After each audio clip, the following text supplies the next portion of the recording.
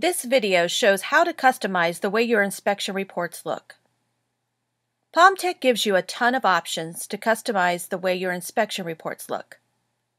This customization is done in Report Settings. We can get to Report Settings either by clicking on the Settings tab or by clicking on the Report Settings icon on the toolbar. Let's click on the icon. The Report Settings screen has six tabs, and each one of these tabs have different options on them that you can change to control how your report looks. Before we get to make any changes, let's take a step back and take a look at how the inspection report looks using the out-of-the-box report settings. To do this, we'll close out of the screen by clicking on OK and then go to Print Preview. It starts off with a cover page followed by the table of contents. As we flip through a few more pages, we can see that we have a checklist style report. It uses a dark green color throughout, and we don't have a logo added in yet. If we go to the end of the report, we can see our summary section. Now that we've seen the default look, let's close the print preview, go back to the report settings, and make some changes. The first change we're going to make is to edit a couple of colors, which we can do by going to the Colors tab. Here we can see the standard colors that are set up. We can customize these colors to use the exact ones that we want. Let's say we want to brand our report to match our company colors, and that one of our colors is orange. Let's rename Accent Dark to Orange and click on the Edit to change the color to orange. Changing the color is easy as all you have to do is move the red, green, and blue sliders until you have the desired color. If you have a specific hex number you want to use, you can type that in as well. Once you have the color you want, click on OK. Let's make one more change and modify the color for the accent light to be a light blue. Now that we've taken a look at changing the colors, let's go to the Header tab and look at how to modify the header at the top of each page. There are two approaches that we can take to setting up the header. The first is that you can make simple changes by modifying the preset format. The second option is to create a custom header by clicking on the Edit Customize Layout button. Let's go with the second route and take a look at setting up a custom header. Here we are looking at the Customize Header screen where we have quite a few options to set up a header exactly how we want. To get started, let's add in our logo, which we can do by clicking on the Locate Logo button in the bottom right corner. This brings up a screen where we can find our logo and add it in. Now that the logo is in, we can change the size of it as well as change its location. Let's make it a little larger and move it up a little so it starts in the top left corner. Right now the logo is being partially covered by the page number and the date, so let's move it to be centered below the company name. We'll move it down a little so it's not overlapping with the company name. We can add something new to the header by clicking on Add Element and simply typing in what we want. Let's say we wanted to say inspected by John Smith. We'll change the color to be our accent light color so that it matches the other text in the header, and then we'll also adjust its placement. Let's say that our header is set up the way we want, so we'll click on Close. That is how you set up a custom header. Now let's take a look at our cover page options, so we'll click on the Cover Page tab. This tab is similar to the header tab in that you can either use the pre-built cover page options or customize your own. The box is already checked for include cover page. If you don't want one, simply uncheck it.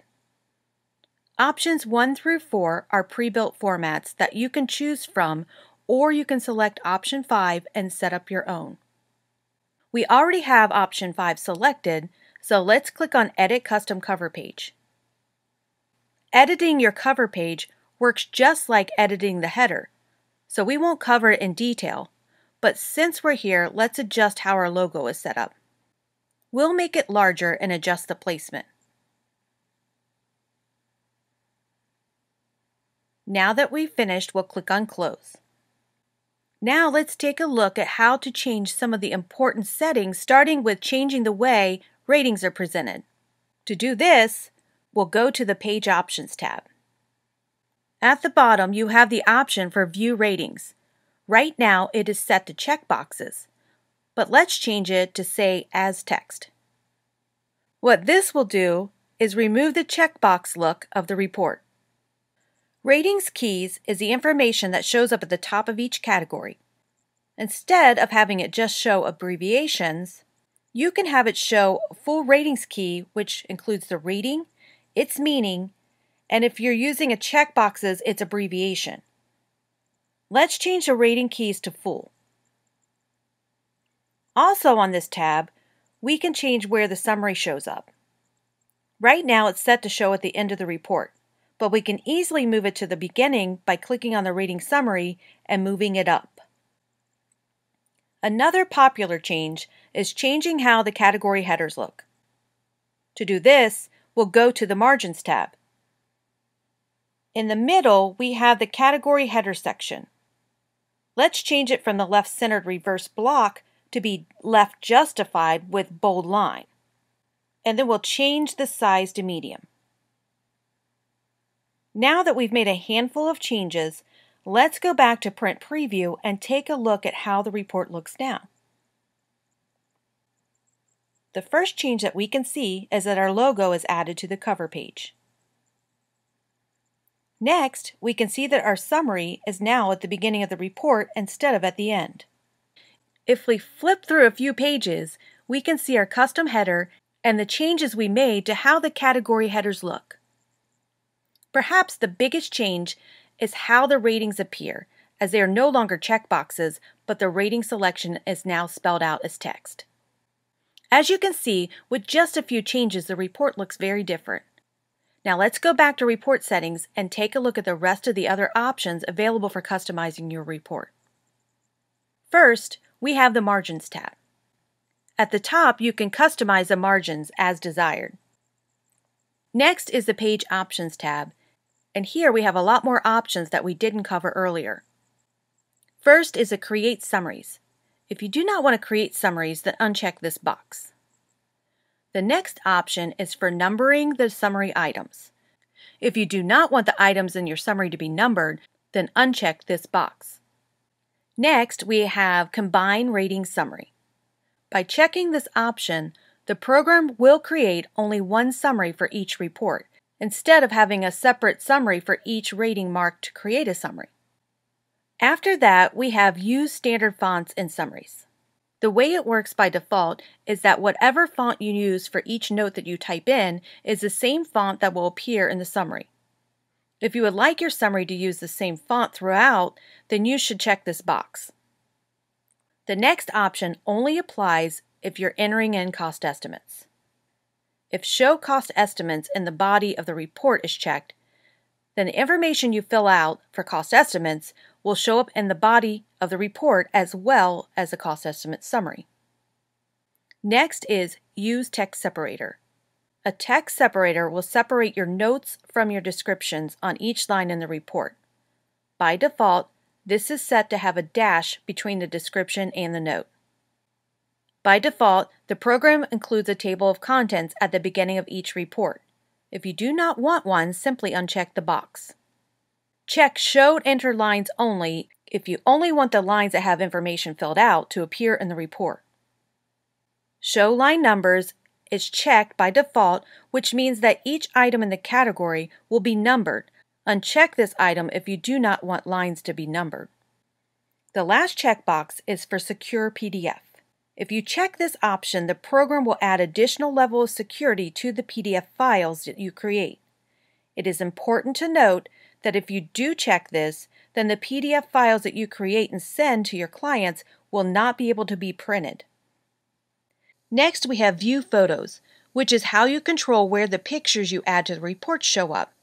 There are three options to choose from, which are to have the photos in both the body of the report and the summary section, to have them only in the summary, or to have them only in the body of the report. We already took a look at the rest of the options of this tab, so let's go ahead and go to the Fonts tab. On this tab, we have three different fonts that we can set, with the first being the template text. This is the font for the main items, such as the category headers, and the prompts, such as driveway and walks. Next is the data text. Data text is the font for items such as ratings, descriptions, and the notes that you type in. Next, we have the company name font. This is where you can adjust the font of your company name, which appears on each page of the report. On this tab, we also have the option for Photos Start on New Line. If this option is checked, then all the photos that you add to your reports will show up underneath the line that they are added to. If you uncheck this, and if you only have one photo on the line, it will show up to the right of the line, and if you have multiple photos on a line, then they will show up underneath it. That's a look at the options available for customizing how your reports look. Making changes to report settings are one-time changes, which means once you set them up how you want, you won't have to change them again. As you can see, we have a ton of options to choose from. As you experiment and make changes to the report settings, you can always go back to the out-of-the-box settings by simply clicking on the Restore Default Settings button, which shows up in the lower left-hand corner of each tab in the report settings. This concludes a video on report presentation options.